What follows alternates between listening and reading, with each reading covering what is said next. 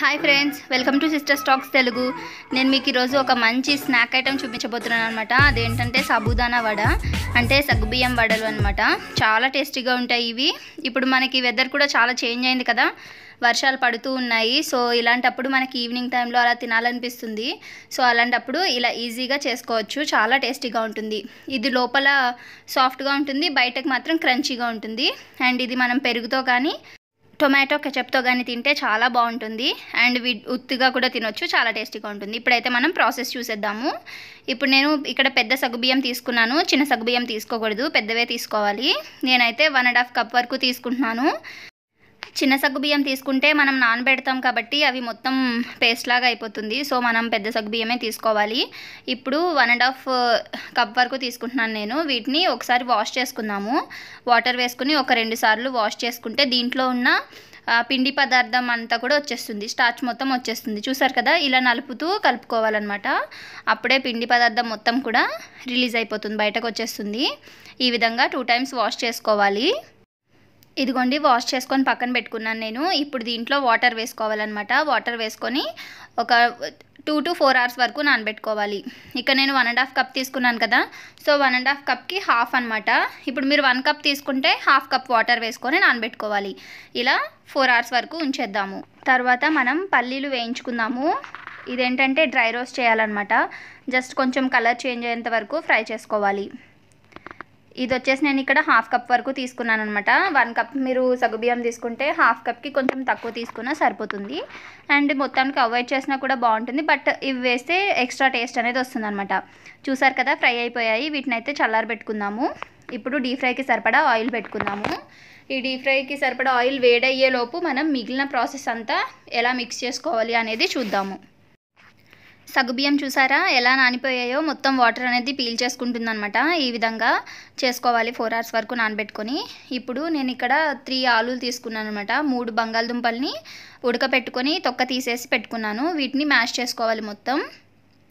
ఇలా హ్యాండ్తో కానీ చేసుకోవచ్చు లేదంటే మనకి ఆలు పప్పు గుత్తే ఉంటుంది కదా అలా వాటితో కానీ తురుముకొని కానీ కూడా చేసుకోవచ్చు. మొత్తం పే మొత్తం స్మూత్ అయిపోవాలన్నమాట. ఆ విధంగా చేసుకొని పెట్టుకోవాలి.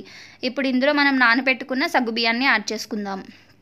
చూసారు కదా నేను సగ్గుబియ్యం కూడా యాడ్ చేసేసాను. ఇప్పుడు ఇందులో నేను పల్లీలు ఇందాక వేయించుకొని పెట్టుకున్నాం కదా అది చల్లారాక ఈ విధంగా పౌడర్ చేసి పెట్టుకున్నాను అనమాట దాన్ని కూడా దీంట్లోకి యాడ్ చేస్తున్నాను. తర్వాత కొద్దిగా జీలకర్ర అండ్ అలాగే ఒక ఆరేడు పచ్చిమిరపకాయలు ముక్కలు అండ్ అలాగే కొద్దిగా కొత్తిమీర వేసుకుని కొంచెం సాల్ట్ కూడా వేసుకోవాలి. సాల్ట్ వచ్చేసి వన్ స్పూన్ వరకు పడుతుంది. ఇప్పుడైతే మిక్స్ చేసేసుకుందాము. సాల్ట్ మనకి సరిపోకపోతే తర్వాత కూడా యాడ్ చేసుకొని కలుపుకోవచ్చు. చూసారు కదా మొత్తం మిక్స్ అయిపోయింది. ఇప్పుడు వీటిని వడల్లా ఒత్తుకోవాలన్నమాట. ఇలా కొంచెం ముద్ద తీసుకొని ఉండలా చేసుకొని దాన్ని హ్యాండ్ మీద ప్రెస్ చేసుకుంటే అయిపోతుంది. లేదు అంటే ఏదైనా పాలిథిన్ కవర్ ఉంటుంది కదా అది కానీ బటర్ పేపర్ కానీ తీసుకొని దాని మీద ఆయిల్ వేసుకొని అప్లై చేసి దాని మీద చిన్న ఉండలా పెట్టుకొని కూడా ప్రెస్ చేసుకోవచ్చు. మనకి ఇది అంటుకుంటుంది అని అంటే లైట్గా వాటర్ తడి చేసుకొని పెట్టుకోవచ్చు. నేనైతే ఇలా ప్లేట్లో పెట్టుకున్నాను డైరెక్ట్ డీప్ ఫ్రై కూడా వేసేయచ్చు అనమాట ఇప్పుడైతే ఆయిల్ వేడైపోయింది. మనమైతే రెడీ చేసి పెట్టుకున్న సగ్గుబియ్యం వడలు ఉన్నాయి కదా వాటిని డీప్ ఫ్రై చేసుకుందాము. ఇలా ఒక్కొక్కటిగా వేసుకోవాలి. ఎక్కువ వేసుకోకుండా కొద్ది కొద్దిగా ఒక ఫైవ్ టు సిక్స్ వరకు వేసుకొని ఫ్రై చేసుకోవాలి.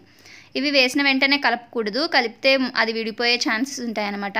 ఇలా లైట్గా కలర్ చేంజ్ అయ్యాక అప్పుడు తిరిగేసుకుని కలుపుకోవాలి. ఈ విధంగా టూ సైడ్స్ కూడా కలుపుకుంటూ ఉండాలి. మొత్తం ఫ్లేమ్ హైలో పెట్టేస్తే ఒకటేసారి కలర్ అనేది వచ్చేస్తుంది. అలా చేయకూడదు. మీడియం ఫ్లేమ్లో పెట్టుకొని ఫ్రై చేసుకోవాలి. అప్పుడు లోపల కూడా బాగా కుక్ అవుతుంది అనమాట చూసారు కదా? ఇప్పుడు వేరే సైడ్ తిప్పుకుందాము. ఇలా ఈ సైడ్ కూడా తిప్పేసుకుని ఇంకొక టూ మినిట్స్ ఫ్రై చేసుకుంటే సరిపోతుంది. చూసారు కదా? ఫ్రై అయిపోయాయి. ఇప్పుడు మనం వీటిని తీసేసుకుందాము. ఒక ప్లేట్లో పెట్టేసుకుందాము. నేనైతే టిష్యూ వేసుకున్నాను బట్ ఆయిల్ అయితే ఎక్కువేం పీల్చలేదు. ఒక టిష్యూ నా పేపర్లోకి తీసేసుకుని తీసేసుకుంటే అయిపోతుంది. చూసారు కదా ఇప్పుడు నేనైతే సర్వ్ చేసుకుంటున్నాను అనమాట నేనైతే peri peri and tomato ketchup రెండు యాడ్ చేసుకొని మిక్స్ చేసుకొని సర్వ్ చేసుకున్నాను. అండ్ అలాగే కర్డ్తో కూడా తిన్నాను నేను చాలా టేస్టీగా ఉంది. సో ఇప్పుడు వర్షాలు వస్తున్నాయి కాబట్టి ఇలాంటి వేడివేడిగా తినాలనిపిస్తుంది కాబట్టి మీరు కూడా డెఫినెట్గా ఒకసారి ట్రై చేయండి. పిల్లలకి పెద్దవాళ్ళకి అందరికీ కూడా నచ్చుతుంది. సో మీరు ఒకసారి ట్రై చేసి ఎలా వచ్చిందో మాకు కామెంట్ చేయండి. అలాగే మీకు ఈ వీడియో నచ్చింది అనుకుంటున్నాను నచ్చితే లైక్ చేసి షేర్ చేసి సబ్స్క్రైబ్ చేసుకున్న వాళ్ళు డెఫినెట్గా సబ్స్క్రైబ్ చేసుకోండి. Thank you for watching. Bye.